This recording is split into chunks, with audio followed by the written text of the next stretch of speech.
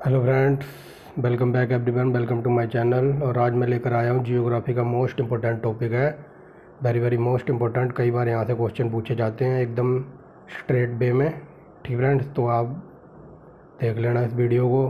और ये वीडियो है कर्क रेखा मकर रेखा और जो आर्कटिक वृत्त इन तीनों को हम एक ही वीडियो में देखेंगे। Very very most important topic है जियोग्राफी के पॉइंट ऑफ़ व्यू से। तो चलिए देखते हैं, पहले हम देखेंगे कर्क रेखा किन किन देशों से गुजरती है। तो देखिए कर्क रेखा को देख रहे हैं। Mexico, Bahamas, Mauritania, Mali, Algeria, Niger, Libya.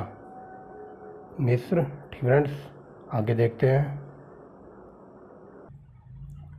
आगे देखिए फ्रेंड्स, आगे से सऊदी अरब यूई संयुक्त अरब अमीरात, ओमान, भारत, बांग्लादेश, म्यांमार, चीन और लास्ट है ताइवान। ठीक फ्रेंड्स तो ये थी कर्क रेखा जिन जिन देशों से गुजरती है, आप देखेंगे आगे।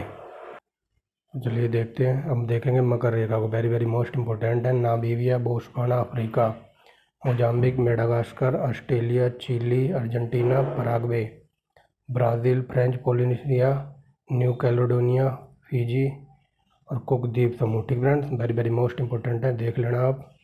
और लास्ट है हमारा, जो आर्कटिक ब्रेथ है कहाँ कहाँ से गुजरता है, ये नॉर्वे, स्वीडन, फिनलैंड संयुक्त राज्य अमेरिका के अलास्का से। ठीक friends, Canada, Denmark, Greenland, Iceland. ठीक फ्रेंड्स तो ये थी हमारी आज की वीडियो जो वेरी वेरी मोस्ट इंपॉर्टेंट है। कई बार यहाँ से एग्ज़ाम में डायरेक्ट फैक्ट के रूप में क्वेश्चन पूछा जाता है।